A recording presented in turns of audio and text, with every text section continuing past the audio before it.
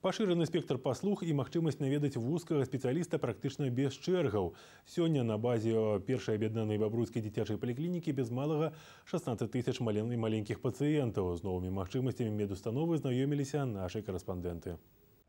Так званая вялікая медыцынская ракіроўка, распачатая ў бабруйску ў 2015 завершана.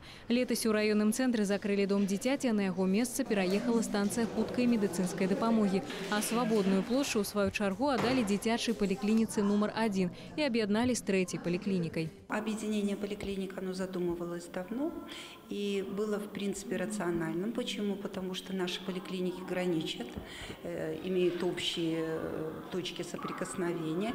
И, соответственно, э, поликлиника расположена так, что она попадает на площади обслуживания обеих поликлиник. У аб'яднанай паліклініцы створаны тры аддзяленні. Тут сканцэнтраваны вузкія спецыялісты.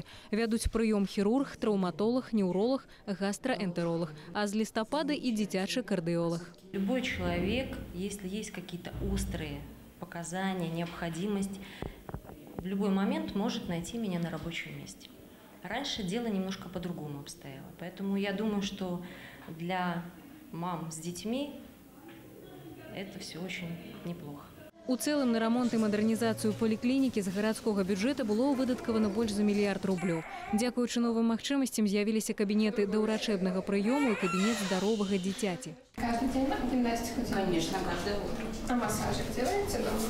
Массажик мы делаем обычно перед сном. Очень хорошо, сюда добавились новые врачи, приходится не ездить в другую поликлинику, очень удобно. Ну, а малышке как нравится? То ей всегда нравится, ей нравятся врачи, она улыбается им, смеется. Аб'яднанне першай і трэцяй паліклінік дазволіла забяспечыць 160 тысяч маленькіх пацыентаў высокай якасцю медыцынскага абслугоўвання. У планах на 2017 капітальны рамонт бабруйскай дзіцячай бальніцы. Седа Каспарова, Павел Савіцкі, Андрей Чорны. Навіны рэгіён.